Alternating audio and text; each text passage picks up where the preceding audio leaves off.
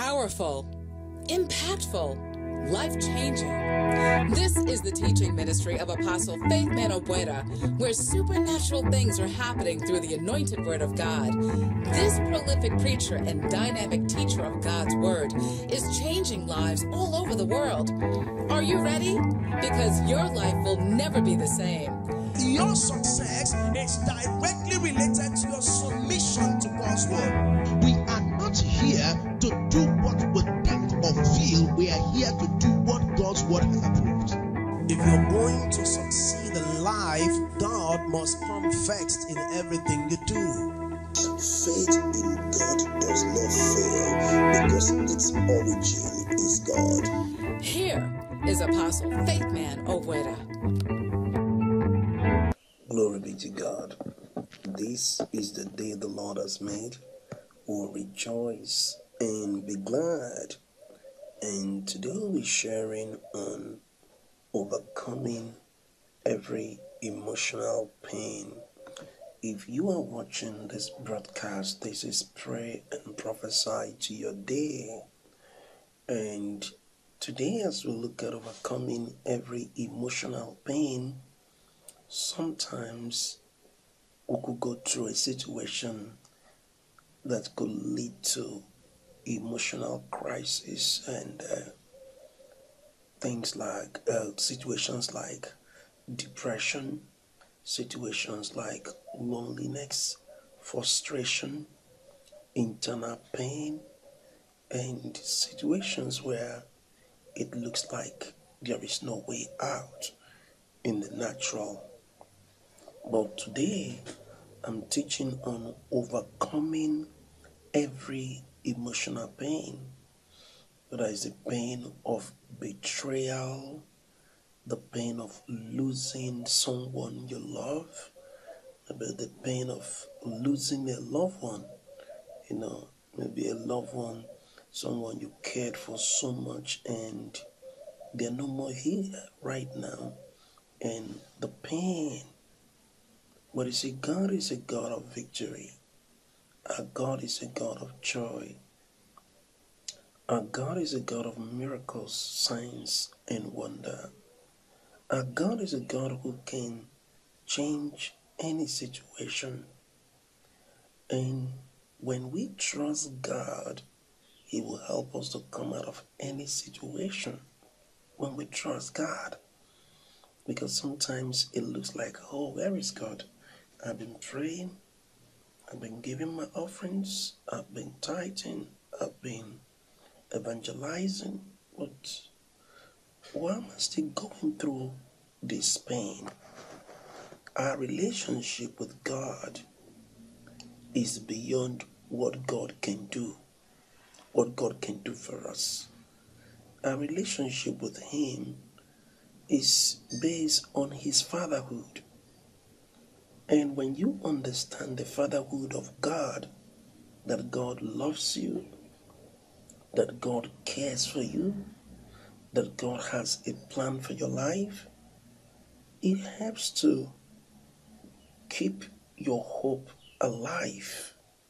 One of the ways we can sustain our hope is to trust God and His Word. When we trust God and His Word, He helps us to rise above every form of depression, loneliness, worry, and anxiety. Overcoming emotional pain. The first thing we need to establish if we're going to overcome any emotional pain is to understand the love of God for us. This is the first step to coming out from every emotional crisis. Responding to the love of God. God loves you. You see, if you have this knowledge that God loves you, your days of accepting rejection from anyone will be over. When you know that God loves you, God didn't love you because you're a Christian. God didn't love you because you came to church. In John 3:16 he said, "For God so loved the world." When he said he loved the world, he's talking about you. For God so loved you. Knowing that God loves you can open the door to your healing. Knowing that God loves you. You know, a lot of people believe that God doesn't love me. I've not done good enough. I've not done this enough. I've not done that enough. But you see, the love of God is not based on your performance. The love of God is not based on your action. The love of God was not even based on your faith. The love of God was as a result of His goodness towards you. You did not contribute to God's love towards you. It was a gift of grace willed towards your direction.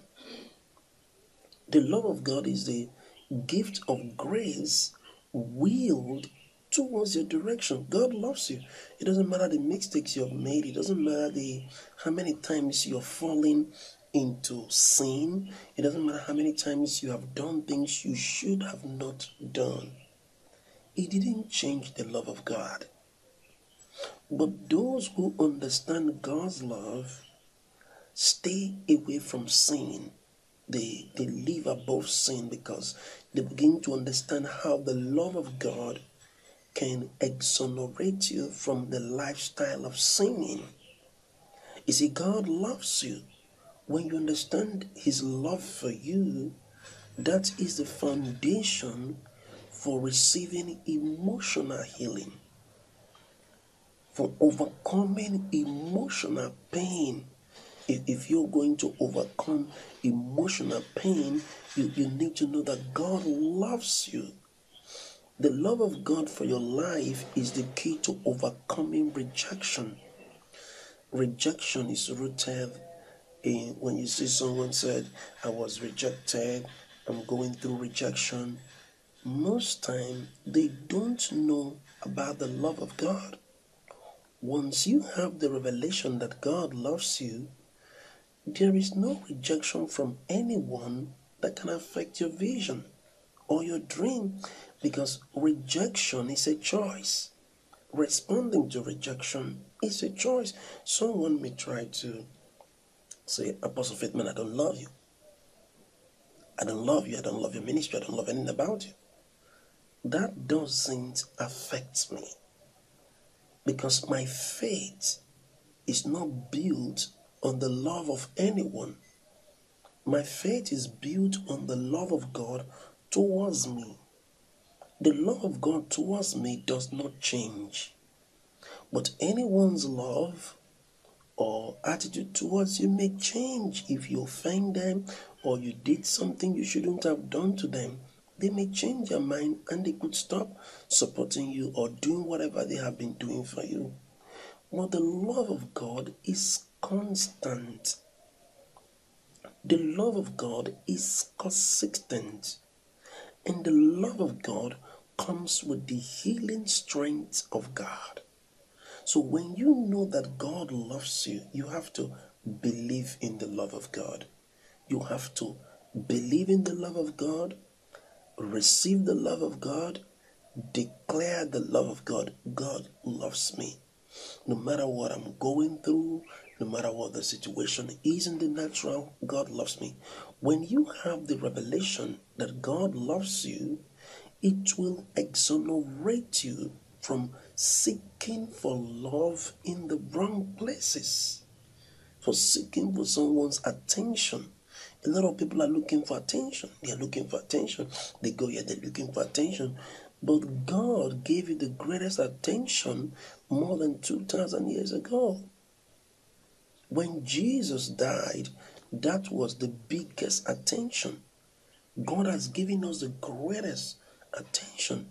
But most of the time, we are not responding to the attention. We are looking for attention from our friend, from our husband, from our wife, from our children, from our boss. It's also good, but no human attention can satisfy you like God giving you attention. So, if you want to overcome any emotional pain, the first step is to believe in the love of God, that God loves me and God has God loves me. His love for me is not going to change. And I receive that love by faith. I walk in the love of God that God loves me. Number two key if you're going to overcome any emotional pain, stop magnifying the pain. This is so important. Sometimes in life, we're being betrayed, or someone hurted us, or someone did something to us. If we're not careful, we'll keep magnifying it, we'll keep talking about it. The more you magnify your pain and your hurt, you are increasing the gravity of the stress it will bring. The, the, the pain is going to increase the, the frustration, the depression, the fear. Don't magnify the pain. Don't magnify the, the situation. You see, casting all your cares, First Peter 5 x 7. First Peter 5 x 7, he said, casting all your cares. Instead of me worrying about it, I give it over to God. Instead of me worrying about it, stressing about it, being frustrated concerning it, I give it over to God. Why should I give it over to God? He said, casting all your cares. So instead of worrying about the death of this loved one, or the loss of this job, or this betrayal, or this situation, the little things, Lord, I cast it on you, Lord. I give it over to you. You see, when you give it over to God, you are opening door for your healing. When you give it over to God, you're opening door for your healing. When you say, Lord, I commit this matter into your hand, I rest in your grace. I rest in your grace. I rest in your word. I refuse to be worried by this. I refuse to allow this to stress me, Lord. I rest in your grace. So give it over to God. If you do that, it opens the door for your healing. The next key to overcoming emotional pain is the forgiveness principle. The forgiveness principle the forgiveness. Now, there are people that need to forgive God. When I say they have to, because they believe God is the one that hurted them. And they think God is responsible for the hurt.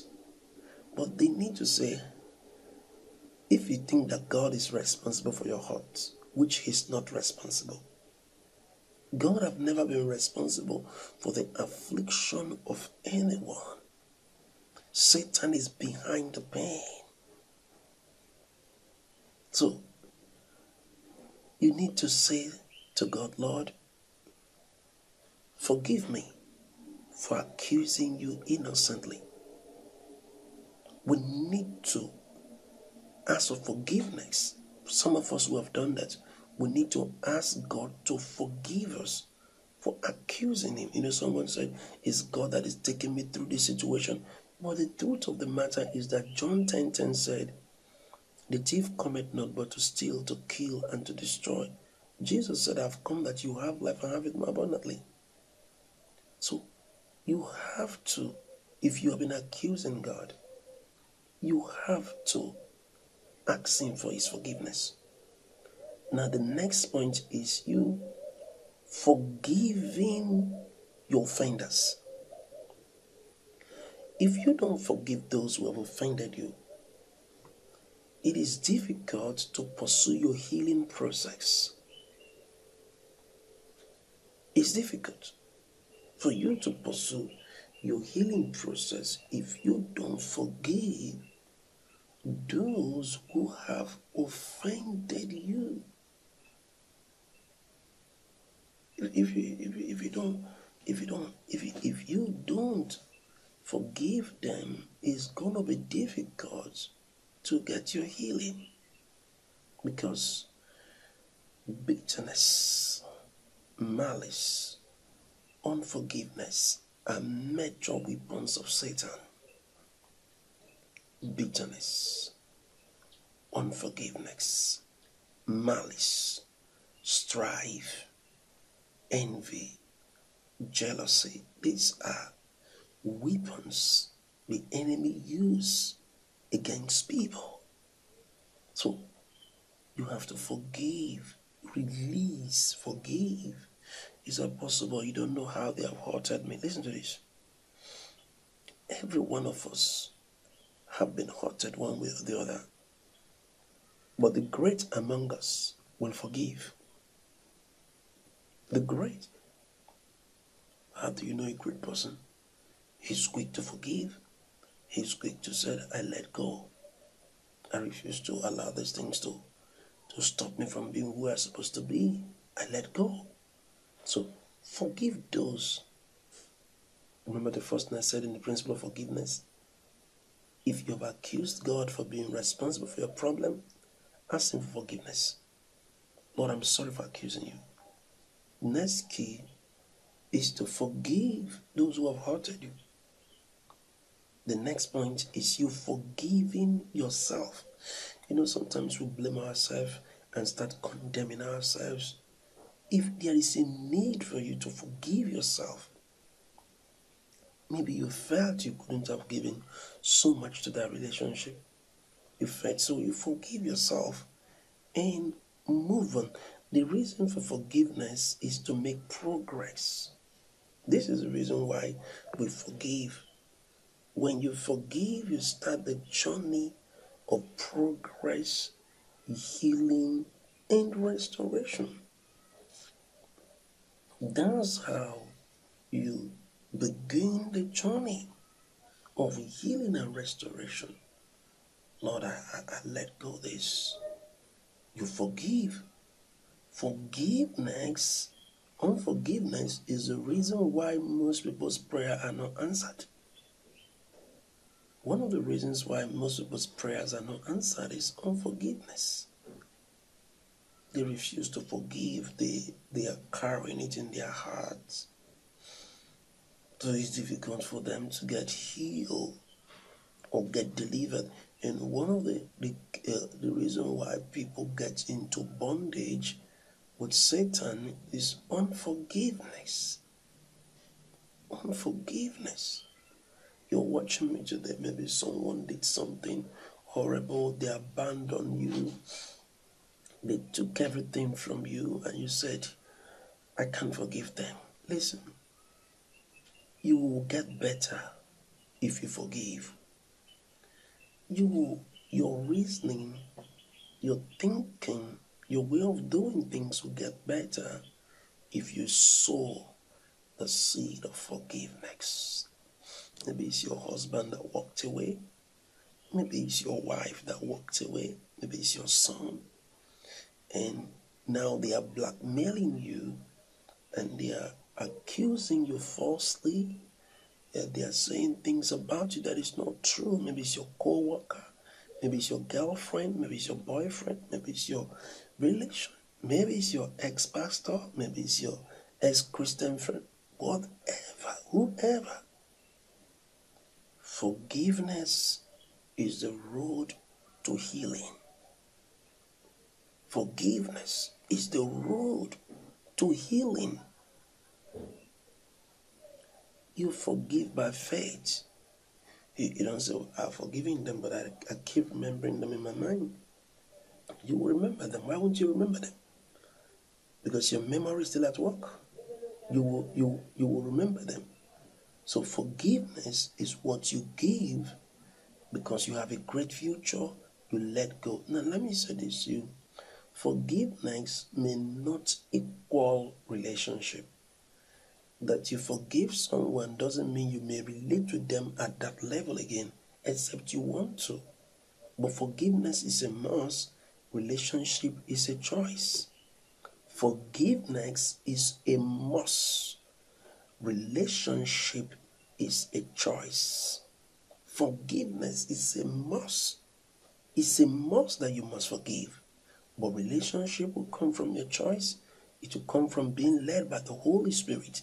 But forgiveness is a, is a choice. You must forgive now.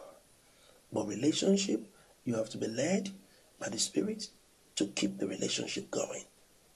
So, forgiveness may not equal automatic relationship with a person, but you're forgiving and getting healed is a vital aspect of making progress in your mental work, your spiritual work, your emotional work. So it's important to forgive. The next point, if you're going to overcome an emotional pain, the next point is renewing your mind with God's word. Renewing your mind with God's word. This is so important. When we renew our mind with God's word, it helps us to think in the direction of His will. Unrenewed mind cannot manifest the goodness of God. When a man's mind is not renewed, they can't walk in God's goodness. They can't manifest God's goodness because their mind is not renewed. In Romans chapter 12, verse 2, Romans 12, verse 2 it said, Be not conformed to this world, but be ye transformed by the renewing of your mind. Be not conformed to this world, but be ye transformed by the renewing of your mind. You know, this mind is so powerful. Our mind is so powerful that we have to renew our mind, develop our mind with God's word. The word of God is the source, the, the, the resources we use to change our way of thinking. So the word of God is a supernatural resources. It can solve so many problems. It can take care of so many things. Praise the Lord. So be transformed by the renewing of your mind. Now, the condition of your mind has a lot to do with your healing process to overcoming a situation, overcoming a circumstances, a condition of your mind. Philippians 4 verse 2. Philippians 5 2 verse 5, sorry, Philippians 2 verse 5. He said, Let this mind be in you that is in Christ Jesus. That mind of Christ comes by the word of God. That mind of Christ, it comes by the word of God. So we have to renew our mind. It will help us to flow with the Holy Ghost. It will help us to flow in the things of the Spirit. It will help us to flow in the knowledge of His will. Someone is watching this broadcast today, and the Holy Ghost said it's time to overcome this emotional hurt. You know, you begin to get into God's Word, you begin to pray in the Spirit, you begin to pray with an expectation that God is going to make a way concerning this matter. You know, some people have not been able to sleep very well because of the hurt, the pain, and they, they, they have not been able to sleep very well. They have lost their sleep because of a betrayal, because of a problem, a situation. And emotionally, they are drained. Emotionally, they are drained. They are so drained that they are no more fit physically. And people become sick first when they are sick emotionally. 85% of people that will walk into doctor's office, the pharmacist, to get some drugs, to get some help. Most of them, their problem started from their emotions. Anger, bitterness, fear, worry, depression, anxiety, loneliness, you know, all manner of emotional issues that led them into getting a medical help because when someone is sick emotionally, their physical body is affected. Nothing drain you like when you have an emotional crisis. Now, maybe you fell into sin, maybe the sin of adultery or the sin of fornication, ask God for forgiveness and also forgive yourself. When you ask God for forgiveness, you forgive yourself. Sometimes the knowledge of sin can lead to emotional pain. The knowledge of sin that, oh, I fell into sin again. Oh God, I thought I could have not done this after I got married. I thought I could have not done this, but I've done it again. God, I'm tired. You know, some people actually took their life because they didn't know how to come out from certain situations. But listen to this our God is a God of mercy. It doesn't matter the area you have sinned against God or against man, God is willing to show you forgiveness. God is willing to pour His grace on you to help you fulfill your destiny. So, you gotta think about sowing forgiveness. You know, when you forgive, he said, Forgive those who trespass. You know, when you forgive, others will forgive you. Forgiveness is a seed. When we sow it, we reap it. Praise God. So, a lot of people are sick today because of their emotional health, the emotional situation, and they're worried, they're depressed. Maybe unpaid bills. Unpaid bills, maybe the bills keep piling, or maybe the debts, uh, the debts you're owing keep increasing. Our God is a miracle worker. He's the God that can restore. He's the God that can heal. He's the God that can set free and open the door of liberty. And you are watching this broadcast right now. Emotional health should be part of your primary pursuit. To be healthy emotionally, you know, you know, to be healthy emotionally. He said in 2 Timothy 1 verse 7. 2 Timothy 1 verse 7. He said, For God hath not given us the spirit of fear, but of love, power, and sound mind. Sound mind. Sound mind is so important. Some people don't have a sound mind. They are troubled. They are confused. They are worried. They are depressed. They are nagging. No, that is not how to do it. Depression will never get you better. Anger will never solve the problem. Frustration will never solve the problem. Bitterness will never solve the problem. All of these things are emotional conditions that can affect your physical health. You know, this is where a lot of people are drained you know, the Bible said that the joy of the Lord is my strength. Wow. The joy of the Lord is my strength. You know, when you you begin to focus on the joy of the Lord, one of the ways you overcome emotional pain is to focus on the joy of the Lord and the goodness of the Lord. This is so powerful. The joy of the Lord and the goodness of God. Remember how good God has been to you. Remember how God saved you from sudden death. Remember how God helped you to get that house. Remember how God helped you to get that car. Remember how God helped you to stay married. Remember how God helped you after the divorce. You know, go and look into the archives of God's goodness and and draw some inspiration and say, God, you've been so good. God, you've been so good. You know, when you focus on God's goodness, it is an energy booster. Nothing boosts your energy like having the revelation of the goodness of God. Nothing boosts your energy like having the revelation of the goodness of God. So focus on God's goodness. God is a good God. God is a good God. Let that be your thinking. Let that be your spirit. Oh God, I thank you look into your life, you will find areas where God has been good. Look at your babies, look at your children, you know, look at your children, look at your job, look at your health. You know, you may say, Apostle, I don't have a job, but you have a good health. It's something to thank God for. I don't have a job, but God has been feeding you.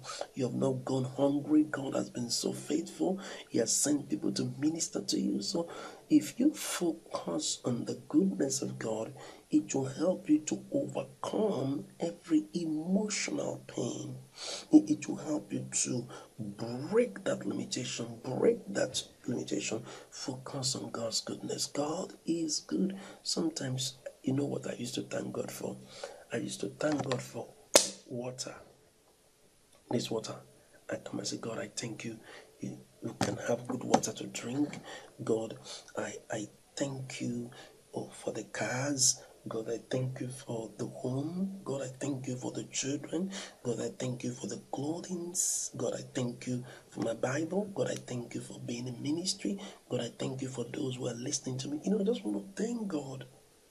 You know, if you can focus on God's goodness, your faith will rise above this emotional pain and you will come out from the emotional trauma. You will come out. This emotional trauma shouldn't be there. You shouldn't be traumatized. You shouldn't be someone that is losing your mind because someone walked out of your life. You are not the first person that someone has walked out of your life. People have walked out of my life. Nobody on this earth today that people have not walked out of their life. They walked out of Jesus' life. Didn't you see it? They walked out of his life. They walked out on God's life. A fool said in his heart, There is no God. So everyone, somehow, people has walked out of their life. But the strong will focus on the future relationship that is coming. So that someone walk away from you doesn't mean the end of your life. That someone never connected to you doesn't mean the end of your life. So if you truly want to succeed, if you truly want to excel, focus on God's goodness. Get out of worry. Get out of depression. Get out of loneliness. Give yourself a hug. Celebrate yourself. Speak well of yourself. Don't don't talk yourself down. Don't get depressed. The more you talk yourself down, nobody's going to help you. You have yourself to celebrate. You have your life to live. And can I say this to you as I draw conclusion? By faith, you believe who you are. By faith, you trust God's word and said, I'm the righteousness of God, and I refuse to accept depression, worry, and anxiety. I am free. I am blessed. I am blessed in my going out. I am blessed in my coming in. When you think from this perspective, nothing can be impossible to you. If you're watching this broadcast, I want to pray for you. Lord, I pray for all those who are going through emotional challenges in their in their relationship, in their job, wherever they are going through, whatever pain they are going through, I pray that you be healed right now in the name of Jesus, that you be delivered from every work of darkness in Jesus' mighty name. Amen. If you're watching this broadcast and you don't know Jesus as your Lord and Savior, you can say this after me Lord Jesus, I confess with my mouth, I believe in my heart that God have raised Jesus from the dead. Thank you, Father, for saving me. Amen. If you pray that prayer with us, the Holy Spirit is going to lead you and you will grow in your walk with our Lord Jesus Christ. Now, I want to encourage you if you're watching me for the first time, or maybe you're watching me, you can send me friends requests on Facebook. On Facebook is Faithman Ogboada. On Facebook, Faithman Ogboada on Facebook, and also Faithman Ogboada Ministry on Facebook. You can connect with me on Facebook. So go to Facebook and type Faithman Ogboada and you will never remain the same. Now, I want to also encourage you to subscribe to our YouTube channel. On YouTube is Faithman Teaching on YouTube. When you go there, you have more than 750 videos that you can watch and more keep adding every day. Thank you for going there. So go to Faith Faithman Teaching on YouTube and subscribe, and you will never remain the same. Tell your friends about Faith Faithman Teaching on YouTube, and also you can follow me on Facebook Live, and you can watch me on different platforms, including on Periscope. And also, you can consider being you, we, you can consider thinking about us by partnering with me. You know, I'm here preaching to you, taking this message to more people around the world. You can be my partner to the answer apostle. I want to stand with you to help your voice to reach more people around the world. And you can do that on PayPal. On PayPal is faithmanteaching at gmail.com. On PayPal is faithmanteaching at gmail.com. So true partnership, we take this message of our Lord Jesus Christ to more and more people around the world will take this message. A lot of people write us their testimonies. Some share their healing report with us, their praise report with us, telling us how God is bringing them through, giving them victory as a result of this teaching ministry. So today, consider giving an offering and sowing into the ground of this ministry. Together, we're using it to push this gospel to greater places for more people to hear it. Thank you for being my friend. Thank you for being my partner. God bless you. I welcome you into a new life, a life of dominion and power. And don't forget this there is greatness in you.